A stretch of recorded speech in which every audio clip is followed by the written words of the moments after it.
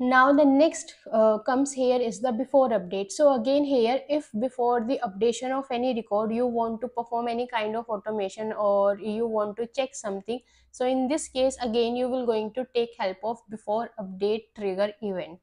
Okay? So uh, if we talk about the context variable in the all four context variable you will going to have the value this time trigger dot new new map old and old map why in the new map here? Because updation you always going to do on the records which are already available in the salesforce okay?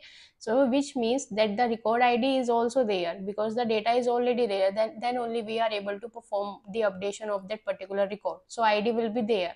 So that is why in the new and new map both will going to give you the value. Similarly old and old map will also going to give you the value now the question comes here is what old and new will going to give you? Like suppose there is a record okay account record is there and earlier the rating field was hot okay rating field is there on the account so the value for the rating field is hot. Now after the updation rating field value is warm.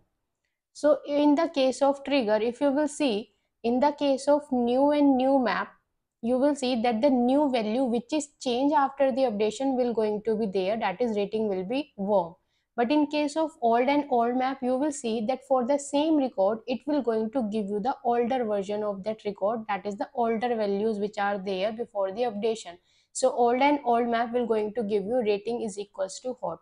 So in this update case either it is before or it is update all four context variable will going to give you the value. In case of new and new map new version will be given to you. That is the values after updation which are saved. And the old and the old map will going to give you the previous or the older version of the same record. Okay so hope this is helpful. It, for any queries to let me know